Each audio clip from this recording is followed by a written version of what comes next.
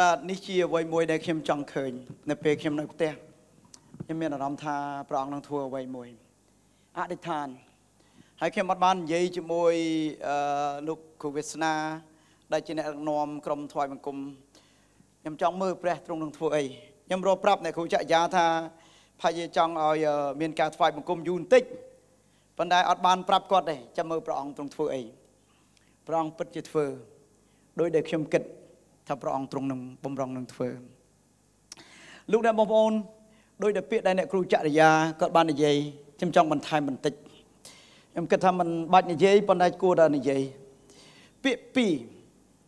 ដែលខ្ញុំទទួលបាននៅពេលខ្ញុំថ្វាយបង្គំនៅយប់នេះអ្នកនៅទីនេះផងហើយនិងអ្នកមើលតាម Facebook តាម YouTube យើងផងពាក្យទី1ខ្ញុំឮដូចជាសម្លេងមួយដែលព្រះបានប្រាប់ថាព្រះអង្គ I will find, I will make heroes out of this room. I will make heroes. យើងនឹងធ្វើឲ្យមានវីរៈបរោះវីរៈនារីចេញពីបន្ទប់នេះ បាទយប់នេះបាទសូមតែដៃតែដៃមួយលោកអ្នកបងប្អូនខ្ញុំមិនដឹងអ្នកណាជាវីរៈបរោះអ្នកណាជាវីរៈនារីប៉ុន្តែដូចជាឮសំឡេងថាព្រះអង្គនឹងរកវីរៈបរោះវីរៈនារីចេញពីបន្ទប់នេះមួយទៀត មនុស្សមួយប្រភេទទៀតមកទីនេះយប់នេះមិនបាច់លើកដៃមិនបាច់អីទេគឺមកទីនេះខ្ញុំមានអារម្មណ៍ថាចង់បានអ្វីមួយ ពីព្រះជាម្ចាស់យប់នេះចង់សុំព្រះអង្គនៅការបើកសម្ដែងអ្វីមួយ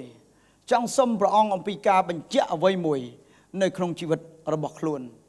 ចង់បានចម្លើយ សម្រាប់អ្វីមួយនៅក្នុងជីវិតរបស់ខ្លួនខ្ញុំជឿថាព្រះជាម្ចាស់ទ្រង់នឹងប្រាប់ដល់លោកអ្នកបងប្អូននៅចម្លើយ ពាក្យពីរនេះព្រះអង្គនឹងរើសវីរៈបរោះចេញពីទីនេះលោកអ្នកបាននិយាយថាខ្ញុំព្រះអង្គទូបង្គំព្រះអង្គទូបង្គំព្រះអង្គទូបង្គំនៅពេលដែលកុមាររៀននៅឯសាលានៅពេលដែលគ្រូសួរថាអ្នកណាចង់ឡើងធ្វើលំហាត់នៅលើក្តារខៀននៅពេលអ្នកណាដែលគាត់ចេះគាត់លើកដៃថាខ្ញុំព្រះអង្គខ្ញុំព្រះអង្គខ្ញុំព្រះអង្គមែនអត់លោកអ្នកបងប្អូនតែយើងអាចនិយាយថាទូបង្គំ បានអត់យើងអាចនិយាយចឹងបានអត់លោកអ្នកបងប្អូនទូបង្គំព្រះអង្គទូបង្គំព្រះអង្គទូបង្គំលោកអ្នកបងប្អូនខ្ញុំជឿបើសិនជាបានទៅជាវីរៈបរោះវីរៈនារីដែលព្រះអង្គប្រើសម្រាប់ចំនួននេះសូមកុំភ្លេចមកប្រាប់ខ្ញុំផងខ្ញុំជឿថាខ្ញុំនឹងរស់រៀនមានជីវិតបានអាយុយឺនយូរដើម្បីចាំមើលលោកអ្នកបងប្អូនអរគ្នាអេមែនជឿអត់បាទ hallelujah ហើយលោកអ្នកម្នាក់ទៀតទៅថាត្រូវការ ចម្លើយពីព្រះអង្គយប់នេះព្រះអង្គនឹងផ្ដល់ចម្លើយយប់នេះអនុញ្ញាតឲ្យវិញ្ញាណរបស់លោកអ្នកស្ដាប់នៅព្រះសូរសៀងរបស់ព្រះអង្គអាចតាមរយៈព្រះបន្ទូលព្រះអង្គនៅយប់នេះអាចរយៈតាមសំឡេងអីមួយចូលនៅក្នុងវិញ្ញាណរបស់លោកអ្នកបងប្អូននៅយប់នេះលោកអ្នកបងប្អូនរដូវកាលនេះ ជារដូវកាលដែលពិភពលោកទាំងមូលរៀបចំអបអរសាទរត្រៀមធ្វើពិធីបុណ្យ Christmas ឬក៏បុណ្យ Noel ឬក៏បុណ្យស្វាគមន៍នៃការមកដល់លើផែនដី នៅ ព្រះអង្គសង្គ្រោះតែមួយអង្គគត់ដែលព្រះអង្គនឹងហើយគឺជាផ្លូវដែលព្រះអង្គនឹងហើយគឺជាសេចក្តីពិត ដែលព្រះអង្គនឹងហើយគឺជាជីវិតហើយព្រះអង្គនឹងនឹងមកដោះរកដោះនៅអំពើបាប ជាចម្លើយសម្រាប់ពិភពលោកទាំងមូល ជាដំណោះស្រាយដែលប្រវត្តិសាស្ត្រប្រាប់ថាគ្មានដំណោះស្រាយណាផ្សេងដែលរួចពីអំពើបាបក្រៅពីដំណោះស្រាយដែលពឹងទៅលើព្រះគុណដែលព្រះនៃនគរឋានសួគ៌បានឲ្យជាព្រះរាជបុត្រាតែមួយព្រះអង្គមកសគត់នៅលើជ័យឆ្កាងហើយរ៉ាប់រងនៅរាល់អំពើបាបនិងលទ្ធផលនៃអំពើបាបនៅលើជ័យឆ្កាងសម្រាប់អ្នកណាដែលព្រមជឿអ្នកនោះត្រូវបានរាប់ថាជាបុត្រ ជាបុត្រាបុត្រីរបស់ព្រះជាម្ចាស់ហើយព្រះអង្គបានរាប់អ្នកនោះថាជាមនុស្សសុចរិតផង ជាកូនដោយសុចរិតផងលោកអ្នកបងប្អូនក្រុមជំនុំរបស់យើងនឹងអបអរសាទរនៅស្ដាប់សប្តាហ៍ក្រោយខាងមុខនេះហើយប្រហែលអ្នកនឹងមកលោកអ្នកបងប្អូនបាទដល់ពេលមកសុំកុំមកតែម្នាក់ឯងមែនទេសំណួរមិត្តភ័ក្តិរបស់យើងមកជាមួយផងយប់នេះ អរលោកលោកស្រីអ្នកនាងកញ្ញាលោកអ្នកបងប្អូនទាំងអស់គ្នាខ្ញុំនឹងបញ្ចប់មេរៀនជាខ្សែរបស់យើង តាមរយៈព្រះបន្ទូលព្រះអង្គពីព្រះគម្ពីរកិច្ចការជំពូកទី28កិច្ចការបញ្ចប់នៅជំពូកទី28ខ្ញុំនឹងសង្ខេបខ្លីៗនៅក្នុងព្រះគម្ពីរកិច្ចការនេះព្រះគម្ពីរកិច្ចការពាក្យថាកិច្ចការគឺជាកិច្ចការគឺជាសកម្មភាព ដែលព្រះទ្រង់បានរើសមនុស្សមួយចំនួនឲ្យបំរើព្រះចអង្គម្ចាស់សម្រាប់រដូវកាលមួយចំនួន សម្រាប់ទីតាំងមួយចំនួន ដែលព្រះអង្គទ្រង់ប្រើពួកគេប៉ុន្តែមុនពេលដែលព្រះអង្គប្រើព្រះអង្គបានប្រាប់គេថាកុំតន់ចេញទៅណាសូមនៅរងចាំនៅក្នុងទីក្រុងយេរូសាឡឹមសិន គឺព្រះអង្គមានអ្វីមួយដែលមកពីឋានសួគ៌ជាសេចក្តីសន្យា ដែលមកពីព្រះវរបិតាថាកុំតន់ទៅណាសូមរងចាំសិនលោកអ្នកបងប្អូន ពេលដែលព្រះអង្គបានសន្យា ថានឹងធ្វើអ្វីមួយហើយនៅពេលដែលព្រះអង្គឲ្យអ្វីនោះពិតជាសំខាន់អ្វីនោះពិតអ្វីមួយនោះពិតជាមានប្រយោជន៍អញ្ចឹងបងបានប្រាប់ថាកុំតន់ទៅណារងចាំអំណោយរបស់ព្រះវរបិតារបស់ខ្ញុំឲ្យដល់អ្នករាល់គ្នា ជាព្រះវិញ្ញាណ ដ៏បរិសុទ្ធក្រោយមកលោកអ្នកបងប្អូនយើងឃើញថាអំណោយរបស់ព្រះអង្គបានមកដល់បានមកដល់គឺមនុស្សដែលរងចាំនោះ គឺគេទទួលបាននៅព្រះវិញ្ញាណបរិសុទ្ធយប់នេះលោកអ្នកបងប្អូនមានអារម្មណ៍ប៉ះពាល់ពីព្រះវិញ្ញាណបរិសុទ្ធអត់មានទេមានទេយើងចង់បានថែមទៀតទេលោកអ្នកបងប្អូនចង់បានថែមទៀតទេចង់បានថែមទៀតអត់ព្រះអង្គមិនដែលនិយាយថាទេ ទៅកាន់លោកអ្នកបងប្អូនទេឲ្យតែលោកអ្នកបងប្អូនត្រៀមខ្លួន នៅផ្ទះលោកអ្នកបងប្អូនក្តីនៅកន្លែងធ្វើការក្តីនៅពេលជិះម៉ូតូជិះឡានក្តីប៉ុន្តែកុំបិទភ្នែកយើងថ្វាយបង្គំព្រះអង្គបដាជិះម៉ូតូបដាថ្វាយបង្គំព្រះអង្គបដាបើកឡានបដាអត់អីទេចំណាយពេលមួយព្រះអង្គពេលខ្លះខ្ញុំជិះម៉ូតូបដាខ្ញុំនិយាយភាសាចម្លែកអស្ចារ្យខ្ញុំមានពេលល្អជាមួយព្រះអង្គខ្ញុំយំជួនកាលគេអ្នកនៅចិត្តខាងគេជិះគេគេឃើញយើងគេឆ្ងល់ ថាម្នាក់នេះមិនចេះមានវិបត្តិអីទេបាទព្រោះយើងមានអារម្មណ៍អំពីការប៉ះពាល់ពីព្រះវិញ្ញាណដ៏បរិសុទ្ធរបស់ព្រះអង្គនៅគ្រប់ទីកន្លែងទាំងអស់លោកអ្នកបងប្អូនអាចធ្វើបានអាចធ្វើបាន ហើយក្រោយមកលោកអ្នកបងប្អូនស្រាប់តែព្រះវិញ្ញាណរបស់ព្រះអង្គបានបំពេញសិស្សរបស់ព្រះអង្គបានពេញទៅដោយព្រះវិញ្ញាណបរិសុទ្ធគឺគ្រីស្ទូសពេត្រុសបានប្រកាសព្រះបន្ទូលលោកអ្នកបងប្អូន ប្រកាសព្រះបន្ទូលប្រកាសព្រះបន្ទូលស្រាប់តែព្រះបន្ទូលរបស់ព្រះអង្គពីមុនមកលោកអ្នកមកប្រកាសដូចគ្នាអត់ដែលមានមនុស្សច្រើនអញ្ចឹងទេមានមនុស្សរាប់រយអ្នករាប់ពាន់អ្នកដើរតាមព្រះយេស៊ូវគ្រីស្ទគ្រាន់តែចង់បានចង់ឃើញព្រះអង្គធ្វើការអស្ចារ្យមានមនុស្សមួយចំនួនដើរតាមព្រះយេស៊ូវគ្រីស្ទគ្រាន់តែចង់សរសើរថាវ៉ាវអស្ចារ្យមែនអ្នកនោះស្លាប់ឥឡូវរស់ឡើងវិញវ៉ាវអ្នកនេះមានជំងឺនេះព្រះអង្គព្យាបាលវ៉ាវវ៉ាវគ្រាន់តែចង់ឃើញការអស្ចារ្យប៉ុន្តែមានមនុស្សមួយចំនួនទៀត លោកអ្នកបងប្អូនគេចង់គេចង់ទទួលបាន ហើយបន្ទាប់មកក្រោយមកគឺចាប់អត់បានដាក់នៅការបដិញ្ញាចិត្តនៅក្នុងការស្គាល់ព្រះអង្គមានទំនាក់ទំនងជាមួយនឹងព្រះអង្គចង់បានព្រះអង្គធ្វើជាព្រះហើយរក្សាទុកនៅក្នុងចិត្តនិងគំនិតឲ្យអនុវត្តនៅគោលការណ៍ដែលព្រះអង្គបង្រៀននោះឡើយនៅពេលដែលគេឆ្កាងព្រះអង្គគ្មាននរណាម្នាក់ចេញមុខអះអាងថាកុំឆ្កាងគាត់អី តែផ្ទុយទៅវិញថាឆ្កាងគាត់ទៅឆ្កាងគាត់ទៅឆ្កាងគាត់ទៅតែនៅពេលនេះលោកអ្នកបងប្អូនទាំងអស់គ្នា នៅពេលដែលគ្រីស្ទូសពេត្រុសបានប្រកាសព្រះបន្ទូលដោយសារតែប្រេងតាំងរបស់ព្រះអង្គដែលជាឫទ្ធានុភាពរបស់ព្រះអង្គបានចាក់បំពេញលោកលោកពេត្រុសសេឡាគ្រាន់តែលោកពេត្រុសសេឡាប្រកាសព្រះបន្ទូលលោកអ្នកបងប្អូនឲ្យមានមនុស្សប្រហែលជា3000នាក់បានថ្វាយជីវិតទៅដល់ព្រះចောက်ម្ចាស់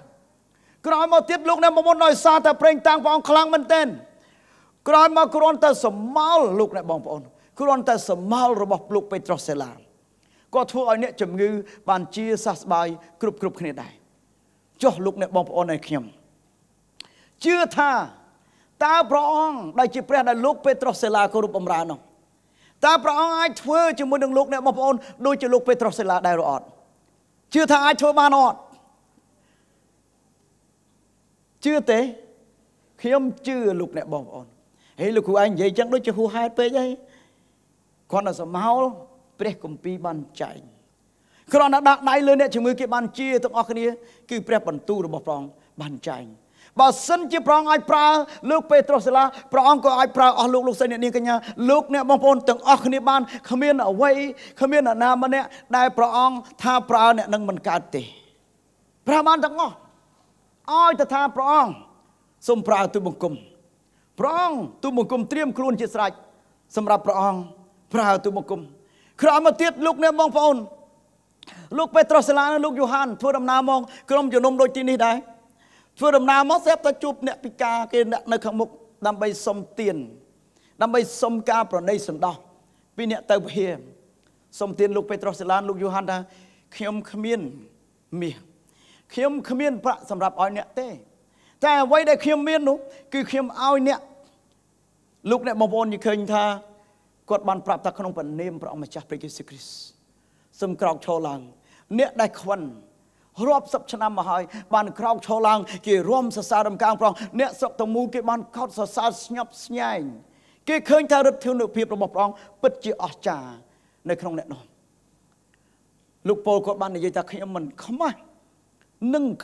ការប្រកាសដំណឹងល្អទេ ព្រោះដំណឹងល្អជាឫទ្ធានុភាពរបស់ព្រះជាម្ចាស់ព្រះយេស៊ូវគ្រីស្ទក៏មានព្រះបន្ទូលថានៅពេលដែលខ្ញុំទៅនគរឋានសួគ៌ខ្ញុំនឹងប្រទានព្រះមួយអង្គទៀតដែលជាព្រះវិញ្ញាណបរិសុទ្ធដែលជាគ្រូជំនួយ ដល់មនុស្សផងទាំងពួងលោកអ្នកបងប្អូនទាំងអស់គ្នាព្រះជាអង្គម្ចាស់ពិតជាសពព្រះហរតីអាចប្រើមនុស្សនៅចំនួននេះបានដូចគ្នាយើង fast forward ទៅមុខតទៅទៀតលោកអ្នកបងប្អូន ចូលមកដល់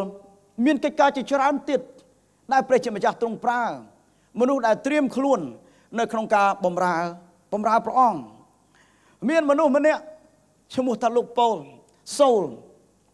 លោកសូលគាត់ជាអ្នកដែលប្រកែគាត់មានសញ្ញាបត្រខ្ពស់គាត់រៀនផ្នែកបណ្ឌិតបណ្ឌិតគាត់គឺផ្នែកវិន័យផ្នែកច្បាប់ទម្លាប់គាត់ចេះច្បាប់ចេះទម្លាប់ច្រើនដល់ពេលគាត់ចេះច្បាប់ចេះទម្លាប់ច្រើនក៏គាត់ឃើញថាមនុស្សជាច្រើន អត់ធ្វើតាមច្បាប់ទម្លាប់របស់សាសយូដាពីមុនមកទេអញ្ចឹងគាត់ទៅសុំច្បាប់អំពីមេអាចារ្យឬក៏មេអ្នកកាន់សាសនាថាគាត់នឹងដើរទៅបៀតបៀនគេអ្នកណាដែលជឿទៅដល់ព្រះយេស៊ូវគ្រីស្ទគាត់នឹងមិនព្រមឲ្យជឿនឹងគាត់នឹងបៀតបៀនគេរហូតទៅដល់សម្លាប់គេផងហើយនៅពេលមួយពេលដែលគាត់ធ្វើដំណើរទៅទីក្រុងដាម៉ាស់ស្រាប់តែមានពន្លឺមួយនៅតាមផ្លូវចិញ្ចាំងចិញ្ចែង ជាសេរីរុងរឿងរបស់ព្រះអង្គបានស្រែកហៅថាសូលសូលសូលហេតុអីបានជាអ្នកឯងបៀតបៀនខ្ញុំលោកអ្នកបងប្អូននៅពេលដែលសំឡេងនោះស្រែកសូលសូលសូលលោកសូលគាត់មើលទៅអត់ឃើញអ្នកណាសោះនៅនៅនៅក្បែរគាត់គាត់អត់ឃើញតើសំឡេងថាអ្នកណាថាអ្នកណាគេដែលថាខ្ញុំបៀតបៀននោះសំឡេងនោះបានប្រាប់ថាខ្ញុំជាយេស៊ូវដែលអ្នកកំពុងតែបៀតបៀន នោះមកយើងយល់ចេះលោកអ្នកបងប្អូនលោកអ្នកបងប្អូនណាដែលជឿព្រះអង្គលោកអ្នកបងប្អូននោះឯងត្រូវបានរាប់ជាកូនជាបុត្រាបុត្រីរបស់ព្រះជាម្ចាស់អ្នកណាដែលហ៊ានបៀតបៀនលោកអ្នកបងប្អូនដូចជាកំពុងតែបៀតបៀនដល់ព្រះជាម្ចាស់បានន័យថាព្រះអង្គកំពុងតែមើលមកកាន់លោកអ្នកបងប្អូន ជាមួយនឹងប្រណេតនៃការមើលថែទំនុកបំរុងសពបែបសពយ៉ាង យប់នេះខ្ញុំចង់ឲ្យលោកអ្នកបងប្អូនបានចាំថាលោកអ្នកបងប្អូនស្ថិតនៅក្នុងក្រសែព្រះនេតគឺខ្សែភ្នែករបស់ព្រះជាម្ចាស់កុំដែលអនុញ្ញាតឲ្យខ្លួនឯងចាញ់សេចក្តីល្បងថាគ្មានអ្នកណាខ្វល់ខ្វាយពីខ្ញុំទេសំបីតែព្រះជាម្ចាស់ក៏មិនខ្វល់ខ្វាយពីខ្ញុំដែរកុំអនុញ្ញាតឲ្យសេចក្តីល្បងនោះចូលមានដល់ឲ្យសោះនៅពេលដែលសូលបៀតបៀនដល់ក្រុមជំនុំពួកជំនុំព្រះអង្គថាអ្នកឯងកំពុងតែបៀតបៀនខ្ញុំឈប់បៀតបៀនចឹងទៅ ពីថ្ងៃនេះតទៅ យើងប្រើសូលឯងព្រះអង្គបានប្រែឈ្មោះសូលពីសូលទៅពោលវិញពីអ្នកដែលបៀតបៀនគេទៅជាអ្នកដែលនាំដំណឹងល្អរបស់ព្រះជាម្ចាស់ទៅកាន់ប្រជាជាតិផ្សេងផ្សេងទៀតព្រះអង្គប្រើសូលព្រះអង្គប្រើពោល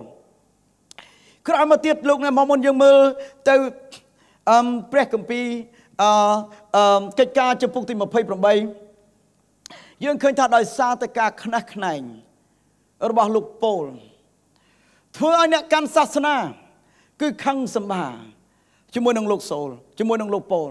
ខឹងសម្បាខ្លាំងរហូតទៅដល់ជីវិតរបស់លោកពោលត្រូវបានគេចាប់ដាក់គុក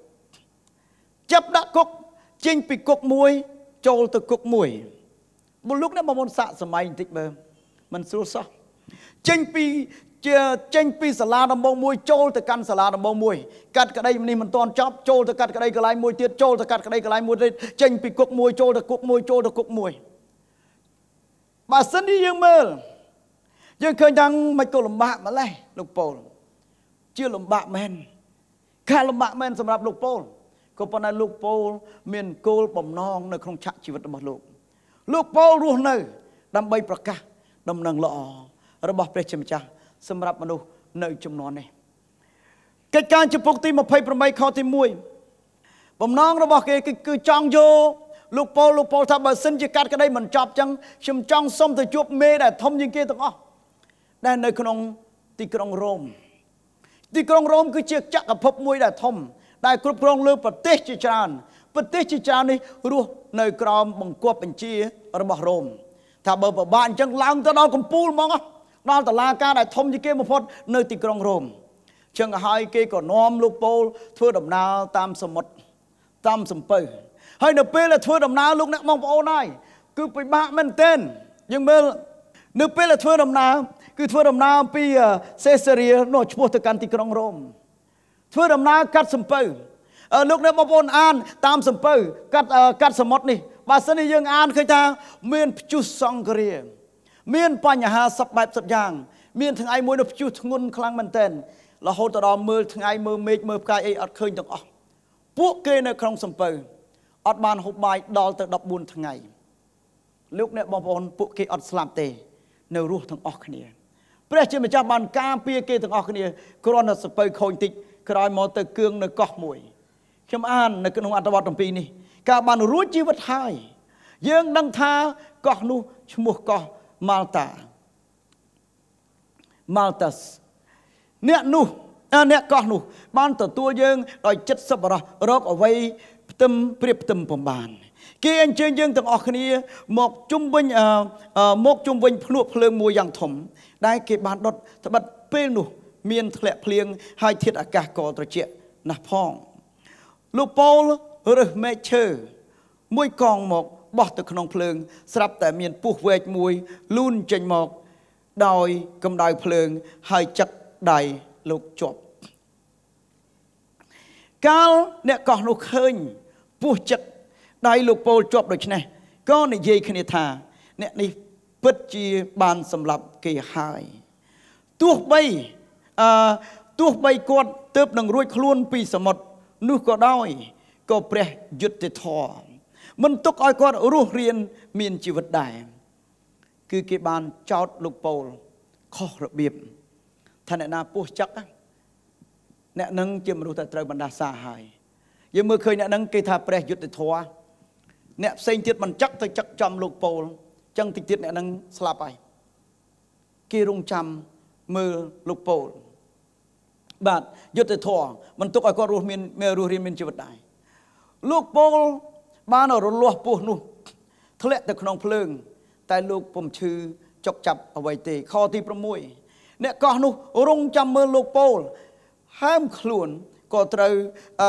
ឬត្រូវដាច់ខ្យល់ស្លាប់ប៉ុន្តែក្រោយពីចាំមើលអស់រយៈពេលយ៉ាងយូរមក គេឃើញថាគ្មានហេតុអាក្រក់កើតមានដល់លោកសោះគេក៏ដូរគំនិតហើយបែរជាពោលថាលោកពោលជាព្រះជាម្ចាស់លោកអ្នកបងប្អូន ព្រះយេស៊ូវគ្រីស្ទបានបង្គាប់បញ្ជាឲ្យសិស្សរបស់ព្រះអង្គចេញទៅធ្វើដំណើរចេញទៅនាំដំណឹងល្អទៅគ្រប់ជាតិសាសន៍ទាំងអស់នៅពេលដែលគេធ្វើដំណើរចេញទៅ ប្រសិនបើជាគេជ្រុលផឹកជាតិពុលណាមួយជាតិពុលអត់មានអតិពលលើគេទេ ប្រសិនដែលពោះពឹសអសេរពឹសណាមួយចឹកគេក៏គ្មានអតិពលដែរនេះឯងគឺជាព្រះបន្ទូលព្រះអង្គយើងឃើញថាពោះនេះអត់មានអតិពល លើលោកប៉ូលទេហើយនាំឲ្យគេនិយាយថាលោកនឹងប្រហែលជាព្រះជាម្ចាស់ហើយគាត់ខ្លាំងជាងអំណាចពឹសរបស់ពស់ទៅទៀតនៅជុតនោះមានដីមួយកន្លែងខទី7ដែលជាកម្មសិទ្ធិរបស់លោកមេកន្ទ្រាញឈ្មោះពុបលីយ៉ូសគាត់បានទទួលយើងឲ្យស្នាក់នៅយ៉ាងរាក់ទាក់ចំនួន3ថ្ងៃឪពុករបស់លោកពុបលីយ៉ូស សម្រាននៅលើក្រែព្រោះគាត់គ្រុនផងមួលផងលោកប៉ូលបានចូលទៅក្នុងផ្ទះគាត់ហើយអធិដ្ឋានដាក់ដៃលើនឹងប្រោះគាត់ឲ្យបានជា អ្នកជំងឺអាទៀតអាទៀតលើកោះឃើញគាត់ជាដូច្នេះគេក៏នាំគ្នាមកនាំអ្នកជំងឺមកដែរហើយបានជាទាំងអស់គ្នា ពួកគេបានសម្ដែងការគោរពគ្រប់យ៉ាងចំពោះយើង នៅពេលយើងចេញដំណើរមកគេបានជួយឧបត្ថម្ភនៅអ្វីអ្វីដែលយើងត្រូវការ លោកអ្នកបងប្អូនខ្ញុំបាននិយាយថាផុតពីគុកមួយចូលទៅគុកមួយផុតពីកន្លែងកាត់ក្តីមួយចូលទៅកាន់កន្លែងកាត់ក្តីមួយទៀតធ្វើដំណើរទៅកាត់ក្តីនៅក្នុងទៅកាន់នៅកន្លែងទីក្រុងរ៉ូមគឺមានបញ្ហាឈិតលិចសំពៅទៀតទៅដល់លើកោះពោះចឹកទៀតលោកអ្នកបងប្អូនសាកសម័យមើលជីវិតបែបនេះมันស្រួលសោះតែលោកពូលមានការបដិញ្ញាចិត្តមួយ ថាទោះជាស្ថានភាព យ៉ាងណាកើតឡើងដល់គាត់គាត់នៅតែប្រកាសព្រះបន្ទូលគ្រប់ទីកន្លែងដែលលោកពោលទៅលោកពោលនាំឲ្យកន្លែងនោះជាកន្លែងនៃសេចក្តីសុខសាន្តលោកពោលបានប្រើអំណោយទានដែលលោកមាន ដើម្បីផ្ដល់ពរដល់មនុស្សដែលនៅជុំវិញលោកយើងឃើញថាលោកអ្នកបងប្អូនអ្នកនៅលើកោះនោះមិនដែលបានលឺដំណឹងអំពីព្រះជាម្ចាស់សោះពីមុនមកឥឡូវពេលនេះ គឺគេបានលឺដំណឹងអំពីព្រះអង្គពេលនេះគេឃើញរដ្ឋានុភាពរបស់ព្រះអង្គតាមរយៈលោកប៉ូលព្យាបាលអ្នកជំងឺឲ្យបានជាគ្រប់គ្រប់គ្នា លោកប៉ូលនាំដំណឹងល្អនៃសេចក្តីសុខសាន្តទៅគ្រប់ទីកន្លែងដែលគាត់ទៅលោកអ្នកបងប្អូនដោយសារតែលោកប៉ូលនេះហើយធ្វើឲ្យដំណឹងល្អរបស់ព្រះជាម្ចាស់នៃនគរឋានសួគ៌បានរីករាលដាលទៅដល់សាសដទៃ ទៅដល់សាសផ្សេងផ្សេងនៅប្រទេសផ្សេងផ្សេងជនជាតិហេប្រឺជនជាតិ Jewish គេមានមោទនភាពថាព្រះនៃឋានសួគ៌มันបានរើសជាតិសាសនាផ្សេងទៀតទេ មានតែសាសអ៊ីស្រាអែលប៉ុណ្ណោះដែលព្រះអង្គបានរើសថាជាប្រជារាស្ត្ររបស់ព្រះអង្គក្រៅពីនឹងគ្មានអ្នកណាមានឯកសិទ្ធិទេលោកអ្នកបងប្អូនឃើញ អ្នករស់ស៊ីមួយចំនួនឲ្យតែអ្នកនឹងជាសាសយូដាជាពួក Jewish គេថាពួក Jewish គេរស់ស៊ីមានមានមានដែរពិនិត្យឃើញចឹងអត់មានដែរឃើញចឹងអត់ពួក Jewish ពួកសាសយូដាហ្នឹងពួកគេមានមានណាដូចនៅម្ដុំទីក្រុង New York អីផ្សេងផ្សេងយើងឃើញថាពួកអ្នកមានអ្នកមានសុទ្ធតែពួក Jewish តើលោកអ្នកបងប្អូននៅខ្ញុំមានអភ័យឯកសិទ្ធិដែរឬអត់លោកអ្នកបងប្អូននៅខ្ញុំក៏មានអភ័យឯកសិទ្ធិមិនជា Jewish ទេ ជាជនជាតិកម្ពុជាដែរ ជាជាជនជាតិកម្ពុជាក៏ប៉ុន្តែយើងមានតំណែងតំណងជាមួយព្រះ ដែលពួក Jewish គោរពបម្រើអស់លោកលោកស្រីអ្នកនាងកញ្ញាលោកអ្នកបងប្អូនទាំងអស់គ្នា យើងឃើញថាជីវិតនេះ មានតម្លៃណាស់ព្រះនៃឋានសួគ៌គឺព្រះអង្គបានទតរំពៃមើលអស់លោកលោកស្រីអ្នកនាងកញ្ញាលោកអ្នកបងប្អូនទាំងអស់គ្នាគ្មាននរណាម្នាក់ដែលនៅក្រៅ អំពីប្រព័ន្ធនៃការការពាររបស់ព្រះចអង្គម្ចាស់ឡើយគឺព្រះអង្គមើលថែកិច្ចការមិនល្អមួយចំនួន ដែលកើតឡើងដល់លោកអ្នកបងប្អូនហើយនៅខ្ញុំកិច្ចការនោះ គឺដូចជាមៀជាសាតាំងវាមកគិតតែពីលួចគិតតែពីប្លន់គិតតែពីសម្លាប់គិតតែពីបំផ្លាញយើងឃើញទេលោកអ្នកបងប្អូនជីវិតនេះពេលខ្លះ សប្តាហ៍មួយពីសប្តាហ៍មួយទៅសប្តាហ៍មួយគឺពិបាកបន្ទាប់ពីខ្ញុំធ្វើដំណើរមកពីសហរដ្ឋអាមេរិកនៅខែ9ខ្ញុំមកខ្ញុំចង់ជួយសមាជិកក្រុមជំនុំយើងដើរសួរសុខទុក្ខចំណាយពេលមួយមនុស្សមួយចំនួននៅពេលខ្ញុំមកដល់ខ្ញុំត្រូវ quarantine សម្រាប់14ថ្ងៃបន្ទាប់ពី14ថ្ងៃខ្ញុំមានសេរីភាពចេញមកมันបានប្រមាណម្ដាយខ្ញុំគាត់ឆ្លងកូវីដទៅពេលម្ដាយខ្ញុំគាត់ឆ្លងកូវីដ លោកអ្នកបងប្អូនមនុស្សមួយចំនួនអ្នកផ្ទះខ្ញុំសាច់ញាតិរបស់ខ្ញុំគេភ័យគ្រប់គ្នាបារម្ភគ្រប់គេខ្ញុំក៏បារម្ភដែរអត់មានអ្នកណាម្នាក់ទៅជួយមើលម៉ែនៅក្នុងពេទ្យពួកគេមានកូនចៅឲ្យខ្ញុំគ្រួសារខ្ញុំនៅឆ្ងាយអញ្ចឹងខ្ញុំអាចទៅបាន គេគេទៅនៅជួយមើលក្រុមគ្រួសាររបស់គេខ្ញុំទៅក្នុងមន្ទីរពេទ្យដើម្បីជួយម៉ែពេទ្យឯកជនមួយម៉ែក៏បានជា ជាហើយលោកអ្នកបងប្អូនមកផ្ទះ មានសេរីភាពបានមួយរយៈក្រោយមកដួលបាក់ជើងទៀតលោកអ្នកបងប្អូនរយៈពេល2 3ខែខ្ញុំមានអារម្មណ៍ថាអស់កម្លាំងប្រងទូបង្គំអស់កម្លាំងនៅពេលម្ដាយខ្ញុំបាក់ជើង មានបងប្អូនខ្ញុំទាំងអស់គ្នាអាហ្នឹងវាលែងជាមេរោគហើយគឺគាត់អាចទៅជួយមើលថែម្ដាយខ្ញុំខ្ញុំក៏អស់កម្លាំង ខ្ញុំឃើញម្ដាយខ្ញុំឪពុកខ្ញុំអស់កម្លាំងខ្ញុំឃើញបងប្អូនខ្ញុំអស់កម្លាំងឃើញក្រុមគ្រួសាររបស់ខ្ញុំអស់កម្លាំងក៏ប៉ុន្តែខ្ញុំនៅតែជឿនិងទុកចិត្តទៅលើព្រះជាអម្ចាស់ដែលមានប្រជញ្ញគង់នៅថា ព្រះរបស់ខ្ញុំនឹងមិនទុកខ្ញុំចោលឲ្យកំព្រាឯកាឡើយម្ដាយរបស់ខ្ញុំនៅពេលឆ្លងកូវីដទៅដល់ពេទ្យគេថាលោកគ្រូមកទាន់ពេលទាន់វេលាបើលោកគ្រូចាំតែ2ថ្ងៃទៀតប្រហែលជាធ្ងន់ជាងនឹងពិបាក ទាន់ពេលទាន់វេលានៅពេលនាំគាត់ទៅពេទ្យដើម្បីជួសជុលឆ្អឹងគឺទាន់ពេលទាន់វេលាទៀតព្រះជាអង្គម្ចាស់បានជួយខ្ញុំមីវាមកគិតតែពីលួច ពីប្លន់ពីសម្លាប់ពីបំផ្លាញវាមកលួចយកសេចក្តីសុខពីខ្ញុំ វាលួចយកថវិកាពីយើង លួចយកអ្វីទាំងអស់ពីក្រុមគ្រួសាររបស់យើងក៏ប៉ុន្តែយើងជឿនឹងទុកចិត្តលើព្រះអង្គម្ចាស់ថាព្រះអង្គនឹងជួយគ្រប់គង់ដល់យើង ព្រះអង្គនឹងសងនៅអ្វីដែលមានសាតាំងបានលួចដោយសារពួកយើងបន្តទុកចិត្តទៅលើព្រះជាម្ចាស់ទោះជាកលៈទេសៈនៅក្នុងជីវិតកាត់ឡើងយ៉ាងណាក៏ដោយក្តីយើងឃើញថាលោកអ្នកបងប្អូនលោកពូលពិបាកជាងនឹងច្រើនលើកច្រើនសារច្រើនរយដង តែលោកពូលមិនរអ៊ូរទាំទេ តែផ្ទុយទៅវិញលោកពូលនឹងនៅតែប្រកាសព្រះបន្ទូលរបស់ព្រះចៅអម្ចាស់ តទៅមុខទៀតលោកអ្នកបងប្អូននៅក្នុងព្រះគម្ពីរកិច្ចការនឹងដៃចម្ពោះ28ខ17 3ថ្ងៃក្រោយមកលោកពូលអញ្ជើញអ្នកមុខអ្នកការក្នុងចំណោមជនជាតិយូដាឲ្យមកជួបលោកលុះពេលជួបជុំគ្នាហើយលោកមានប្រសាសន៍ទៅគេថាបងប្អូនហើយខ្ញុំពុំបានធ្វើអ្វីប្រឆាំងនឹងប្រជាជាតិយើង ឬទាស់នឹងប្រពៃណីបពៈបរោះយើងទេ គេចោតចោតចោតរហូតទៅដល់ទីក្រុងរ៉ូមចោតទាំងអស់ឃើញថាលោកប៉ូលអត់មានកំហុសទេលោកប៉ូលបានប្រាប់អ្នកដែលជាជនជាតិយូដានៅទីនោះថាឃើញទេខ្ញុំអត់មានខុសទេក៏ប៉ុន្តែពួកបងប្អូនចេះតែចាប់ប្រកាន់ខ្ញុំ តែគេបានចាប់ខ្ញុំឃុំឃាំងនៅក្រុងយេរូសាឡឹមនិងបញ្ជូនខ្ញុំមកក្នុងកណ្ដាប់ដៃរបស់ជនជាតិរ៉ូម៉ាំងកាលពួករ៉ូម៉ាំងសួរចម្លើយខ្ញុំរួចរាល់ហើយ គេចង់ដោះលែងខ្ញុំ ព្រោះតែគេពុំឃើញខ្ញុំមានកំហុសអ្វី គួរនឹងមានទោសដល់ជីវិតឡើយលោកអ្នកបងប្អូន នៅក្នុងជីវិតនេះនឹងមានការភ័យខ្លាចមានបណ្ដាការភ័យខ្លាចចូលមកក្នុងជីវិតរបស់លោកអ្នកបងប្អូននឹងមានការចោទប្រកាន់ដោយអយុត្តិធម៌មកដល់លោកអ្នកបងប្អូនហើយនៅខ្ញុំសូមឈររឹងមាំសូមកុំភ័យខ្លាចតយុទ្ធជាមួយនឹងទំនុកចិត្ត ដែលព្រះជាម្ចាស់បានឲ្យលោកអ្នកបងប្អូនមានរឿងមួយសមាជិកក្រុមជំនុំរបស់យើងគាត់ត្រូវបានបងប្អូនគាត់ចោទប្រកាន់ចោទប្រកាន់ធ្ងន់ធ្ងន់ហើយគាត់ថាគាត់អត់មានអ្នកជួយទេលោកគ្រូហើយគាត់អត់មានមេធាវីអត់មានអីចោតប្រកាន់ធ្ងន់ធ្ងរមែនទែននៅពេលដែលចោតប្រកាន់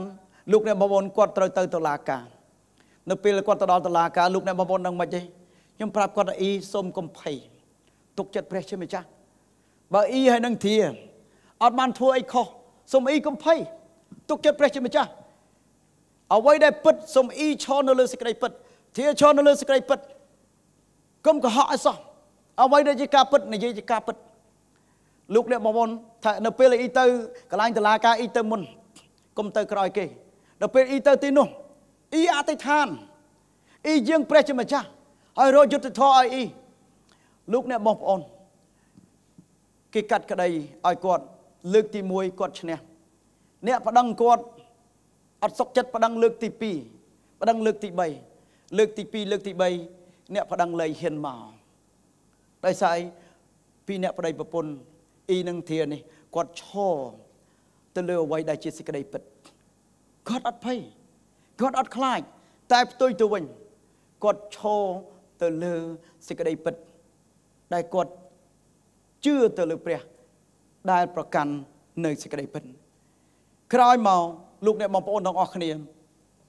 ឃើញថាអ៊ីបានធ្វើទីបន្ទាល់ថាព្រះបានរកយុទ្ធធររកយុទ្ធធរអ៊ីខ្ញុំអានតទៅទៀតលោកអ្នកបងប្អូន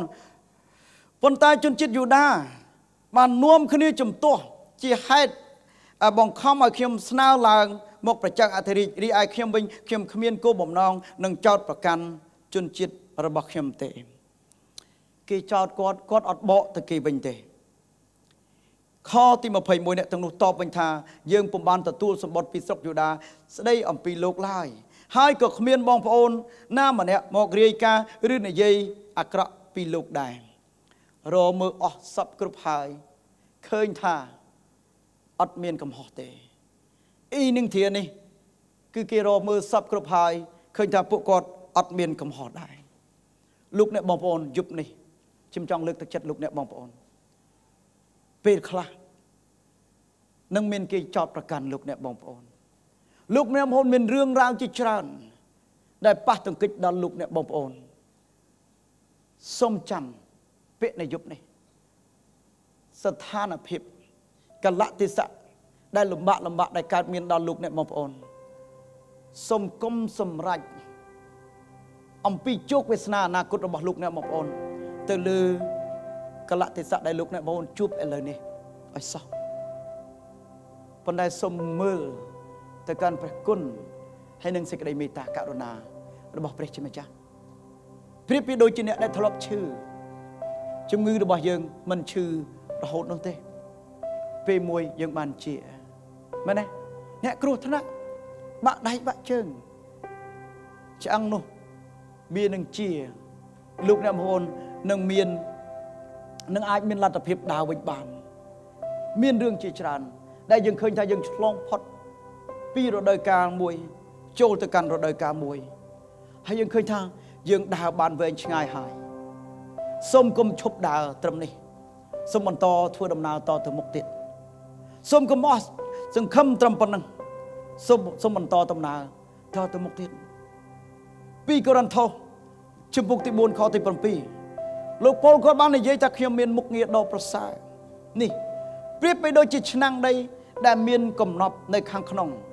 ដើម្បីឲ្យមនុស្សលោកឃើញថាឫទ្ធានុភាពដ៏ប្រសើរខ្ពង់ខ្ពស់នេះជាឫទ្ធានុភាពរបស់ព្រះជាម្ចាស់មិនមែនជារបស់យើងទេគាត់បានមើលឃើញ យើងមានមុខងារដ៏ប្រសើរនេះលោកប៉ូលបានរាប់ថាលោកមានមុខងារប្រសើរមែនទែនជាអ្នកនាំដំណឹងល្អទៅដល់ប្រជាជាតិផ្សេងផ្សេងមុខងារប្រសើរនោះគឺមានអវ័យមួយ នៅក្នុងនោះ គឺមានកំណប់កំណប់នោះ គឺជាកំណប់នៅក្នុងឆ្នាំងដីលោកអ្នកបងប្អូន ពេលដែលគេមានរបស់ដែលមានតម្លៃគេទុកនៅក្នុងទូដែកគេអត់ទុកនៅក្នុងឆ្នាំងដីទេ តែរូបកាយនេះ ប្រៀបបីដូចជាឆ្នាំងដីប្រងបានដាក់កំណប់នៅក្នុងរូបកាយនេះប្រងបានដាក់កំណប់នៅក្នុងលោកអ្នកបងប្អូននៅខ្ញុំពេលខ្លះមនុស្សមួយចំនួនអត់ដែលឲ្យតម្លៃថាខ្លួនឯងមានតម្លៃទេមិនដែលដឹងថាខ្លួនឯងមានតម្លៃទេ មើលឃើញតែគេមានតម្លៃកំណប់នៅក្នុងលោកអ្នកបងប្អូនហើយនៅខ្ញុំបងបានដាក់កំណប់នៅក្នុងនេះហើយកំណប់នេះពិតជាពិសេសវិសាលខ្លាំងមែនតើ ដើម្បីគេឃើញថារដ្ឋធានុភាពដ៏ប្រសើរខ្ពង់ខ្ពស់នេះជារដ្ឋធានុភាពរបស់ព្រះជាម្ចាស់មិនមែនជារបស់យើងទេព្រះជាម្ចាស់បានដាក់កំណប់នៅក្នុងលោកអ្នកបងប្អូនហើយព្រះអង្គឲ្យលោកអ្នកបងប្អូនខ្ញុំធ្វើការអស្ចារ្យក្នុងព្រះនាមរបស់ព្រះជាម្ចាស់លោកអ្នកបងមានជ័យជំនះលើសអ្នកមានជ័យជំនះទៅទៀតដោយសារតែព្រះអង្គជួយលោកអ្នកបងប្អូននៅខ្ញុំខទី8គេសង្កត់សង្កិនយើង គ្រប់បែបយ៉ាងមែន តែយើងមិនភ័យបារម្ភអ្វីឡើយពេលគេសង្កត់សង្កិនយើងសូមកុំភ័យលោកអ្នកបងប្អូនកុំភ័យដោយរឿងដែលខ្ញុំទើបតែនិយាយប្រាប់យើងតល់ច្រកមែនតែយើងនៅតែទល់មុខទៅមុខរួចលោកអ្នកបងប្អូនពេលខ្លះនៅជំវិញយើងទាល់ច្រកអស់លីងហ្មងអស់លីងបើនិយាយពីការរស់ស៊ីវិញឧទាហរណ៍ថារស់ស៊ីវិញខាតអស់ទាំងអស់ហ្មងបើរស់ស៊ីវិញ គឺគ្មានផ្លូវទេគ្មានផ្លូវចេញទេអាច្រកណាក៏ទាល់ច្រកណាក៏ទាល់ច្រកណាក៏ទាល់ច្រកណាក៏ទាល់លោកអ្នកបងប្អូនព្រះអាចជួយលោកអ្នកបងប្អូនបានព្រះអាចជួយលោកអ្នកបងប្អូនបាន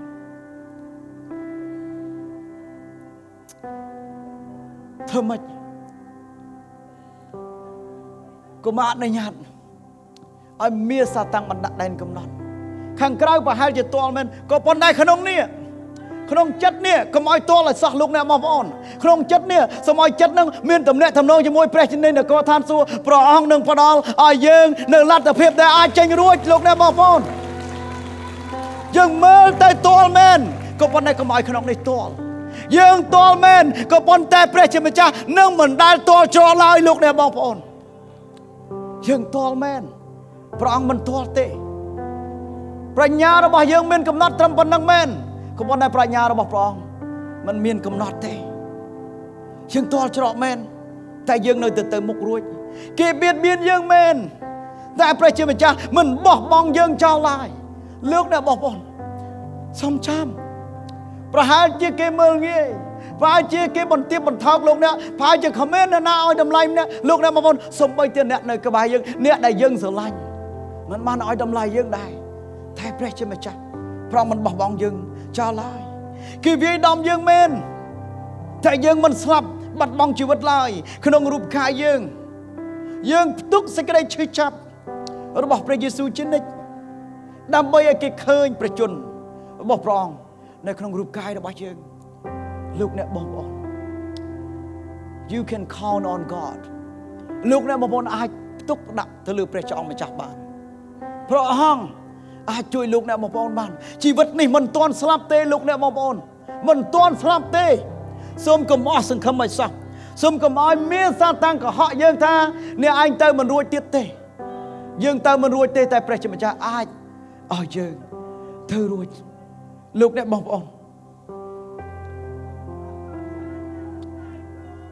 Hallelujah កិច្ចការចំពុក28ខ28ដល់ខទី31 ហេតុនេះសូមបងប្អូនជ្រាបថាព្រះជាម្ចាស់ប្រទានព្រះបន្ទូល ស្ដីពីការសង្គ្រោះរបស់ព្រះអង្គឲ្យសាសដទៃវិញ គឺព្រះអង្គមុខជាស្ដាប់អឺ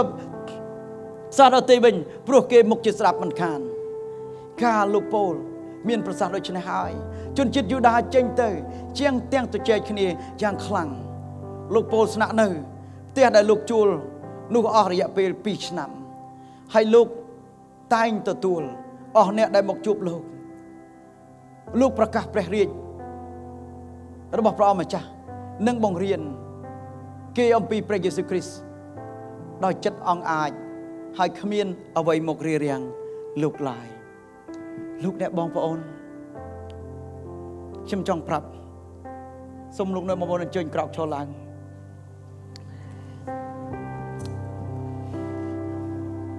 នៅពេល ភ្លេងនេះកំពុងតែលេងនេះអនុញ្ញាតឲ្យព្រះវិញ្ញាណរបស់ព្រះអង្គធ្វើការនៅក្នុងលោកអ្នកបងប្អូនបន្តិចនៅពេលដែលខ្ញុំរៀបចំមេរៀននេះខ្ញុំបាននឹកគិតអំពីមនុស្សដែលល្បីល្បីនៅក្នុងលោកភាពល្បាញល្បីរបស់គេយ៉ាងយូរបំផុតនៅត្រឹម300ឆ្នាំ ថាច្រើនបំផុតចុះ500ឆ្នាំ ក្រោយមកបាត់ទៅ សិភៅទស្សនវិទូទស្សនវិជ្ជាអ្នកទស្សនវិទូល្បាញល្បីបានតែមួយរយៈក្រោយមកបាត់ទៅតារាតួកុនអ្នកចម្រៀងល្បាញល្បីល្បីបានតែមួយរយៈក្រោយមកបាត់បាត់ទៅអ្នកមានមានតែមួយរយៈល្បីបានតែមួយរយៈក្រោយមកបាត់បាត់ទៅតែព្រះនាមរបស់ព្រះយេស៊ូវគ្រីស្ទមិនដែលបាត់សោះ មិនដែលបាត់សោះអ្នកដែលគោរពកោតខ្លាចព្រះអង្គលោកអ្នកមកគេនឹងមិនដែលគេនឹងមិនដែលត្រូវបានចង់និយាយថាអស់សង្ឃឹមសោះគេតែងតែមើលឃើញផ្លូវថ្មីត្បិតនៅក្នុងព្រះបន្ទូលព្រះបានចែងថាព្រះគុណរបស់ព្រះអង្គតែងតែថ្មីជារៀងរាល់ពេលព្រឹកព្រលឹមនៅពេលដែលលោកអ្នកបងប្អូនភ្ញាក់ឡើងសូមចាំថាព្រះអង្គ ទូបង្គំចង់បានអ្វីមួយថ្មីពីព្រះអង្គនៅព្រឹកនេះ Hallelujah ព្រះគម្ពីរកិច្ចការបានចប់នៅក្នុងកិច្ចការចំពុកទី28ខទី31នេះឯងប៉ុន្តែកិច្ចការរបស់ព្រះអង្គមិនទាន់ចប់ឡើយលោកអ្នកបងប្អូនព្រះអង្គនឹងធ្វើការតាមរយៈអស់លោកលោកស្រីអ្នកនាងកញ្ញាលោកអ្នកបងប្អូនទាំងអស់គ្នាដូចខ្ញុំបាននិយាយចាប់ផ្ដើមពីព្រឹកស្អែកទៅសូមប្រកាសលើខ្លួនឯងថា ផ្លូវរបស់ខ្ញុំប្រហែលជាទាល់មែនកិច្ចការរបស់ខ្ញុំប្រហែលជាទាល់មែនក៏ប៉ុន្តែកិច្ចការរបស់ព្រះអង្គមិនទាន់ទាល់ឡើយព្រះអង្គនឹងមានផ្លូវសម្រាប់ខ្ញុំធ្វើដំណើរតទៅមុខទៀតខ្ញុំប្រហែលជាទាល់ច្រមែនក៏ប៉ុន្តែជាមួយនឹងជំនួយដែលមកពីព្រះអង្គខ្ញុំអាចធ្វើទាំងអស់បានដោយសារព្រះអង្គប្រទានកម្លាំងឲ្យខ្ញុំ Hallelujah Hallelujah Hallelujah លោកអ្នកបងប្អូនចិត្តបិទបញ្ចប់ឆ្នាំ 2021ហើយខ្ញុំសូមលោកអ្នកបងប្អូនបានលើកសម្លេងឡើងប្រកាសប្រកាសទាំងអស់គ្នាប្រកាសលើជីវិតរបស់ខ្លួនប្រកាសលើជោគវាសនានៅក្នុងជីវិតរបស់ខ្លួន យើងមិនលំលំឡើយយើងនឹងមិនជឿទៅលើពាក្យកុហករបស់មេសាតាំងកុហកលើយើងថាយើងមិនអាចទៅរួចឡើយយើងមិនជឿទៅលើអតីតកាលអតីតកាលមិនអាចសម្រេចនៅជោគវាសនារបស់យើងសម្រាប់អនាគតកាលនោះឡើយហាឡេលូយ៉ាដោយព្រះបន្ទូលព្រះអង្គបានចែងថា ដោយរួមជាមួយនឹងព្រះអង្គខ្ញុំអាចធ្វើទាំងអស់បានតោះអាចអធិដ្ឋានជាមួយខ្ញុំតោះហាឡេលូយ៉ាប្រកាសទាំងអស់គ្នាលោកអ្នកមកប្រកាសលើជីវិតរបស់យើងប្រកាសលើជោគវាសនានៃជីវិតរបស់យើងហាឡេលូយ៉ា សូរ៉ាម៉ាម៉ាណាណាណាណាណាចូលប្រកាសលោកអ្នកមកមុនប្រកាសប្រកាសហាឡេលូយ៉ាប្រកាសប្រកាសទាំងអស់គ្នាប្រកាសទាំងអស់គ្នាហាឡេលូយ៉ាកុំភ័យកុំខ្លាចហាឡេលូយ៉ាលោកមកលោកអ្នកមកប្រកាសប្រកាសប្រកាសហាឡេលូយ៉ាហាឡេលូយ៉ាព្រះជាព្រះរបស់យើង ហាឡេលូយ៉ាយើងជាកូនរបស់ព្រះអង្គហាឡេលូយ៉ាយើងជាផ្នែកនៃគម្រោងការដ៏អស្ចារ្យរបស់ព្រះជាម្ចាស់ហាឡេលូយ៉ាព្រះជាម្ចាស់នឹងធ្វើអស់ការអស្ចារ្យតាមរយៈលោកអ្នកបងប្អូនទាំងអស់គ្នាពាក្យថាការអស្ចារ្យបានន័យថាមិនអាចទៅរួចទេមានតែជំនួយដែលមកពីព្រះជាម្ចាស់ដែលអាចឲ្យកិច្ចការនេះទៅរួចបានហាឡេលូយ៉ា Hallelujah តោះលើកដៃទាំងអស់គ្នាទៅកាន់នគរឋានសួគ៌ព្រះបិតាអើយនៅយប់នេះកូនប្រុសកូនស្រីរបស់ព្រះអង្គបានលើកដៃទៅរកព្រះអង្គព្រះអង្គអើយកិច្ចការរបស់លោកពូលបានចប់ហើយទីបន្ទាល់របស់លោកពូលបាននៅស្ថិតស្ថេររាប់ពាន់ឆ្នាំព្រះអង្គឥឡូវនេះព្រះអង្គ ព្រះបានអនុញ្ញាតឲ្យទូបង្គំនិងបងប្អូនទូបង្គំ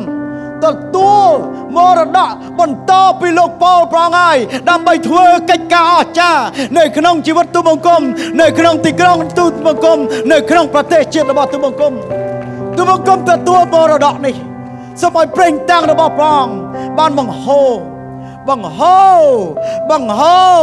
បង្ហូរបង្ហូរប្រេងតាំងរបស់ព្រះបង្ហូរមកលើកូនប្រុសកូនស្រីរបស់ព្រះអង្គ យប់នេះព្រះអង្គហើយពីពេលនេះតទៅសូមបង្ហូរមកថែមទៀតសូមឲ្យយប់នេះជាយប់នៃការសបិនសាជាថ្មីព្រះម្ចាស់អើយហាឡេលូយ៉ាជាយប់នៃការទទួលនៅគំនិតច្នៃប្រឌិតថ្មី ជាយប់នៃការទទួលនៅទំនុកចិត្តថ្មី ដែលមកពីព្រះអង្គហាឡេលូយ៉ាទូបង្គំនិយាយថាអាមែនទៅកាន់គម្រោងការរបស់ព្រះអង្គសម្រាប់ជីវិតទូបង្គំទាំងអស់គ្នា ក្នុងព្រះនាមព្រះម្ចាស់ព្រះយេស៊ូវគ្រីស្ទ Hallelujah Hallelujah Hallelujah Hallelujah លោកអ្នកបងប្អូនកម្មវិធីរបស់យើងយប់នេះចប់ហើយអ្នកណាចង់ថ្វាយដង្វាយយើងមានធុងដង្វាយនៅទីនេះអ្នកណាត្រូវការការអធិដ្ឋានបន្ទប់ខាងនោះរងចាំលោកអ្នកបងប្អូនក៏ប៉ុន្តែសូមកុំចាប់ត្រឹមប៉ុណ្ណេះទៅដល់ផ្ទះរបស់ខ្លួនរៀងរៀងខ្លួនយប់នេះសូមបន្តអធិដ្ឋានទៀត សូមឲ្យគម្រោងការរបស់អរិយត្រូវតែបំផ្លាញទាំងស្រុងក្នុងព្រះនាមព្រះម្ចាស់ព្រះយេស៊ូវគ្រីស្ទអេមែនអេមែនហាឡេលូយ៉ាសូមព្រះអង្គប្រទានពរលោកអ្នកបងប្អូនទាំងអស់គ្នាបាទ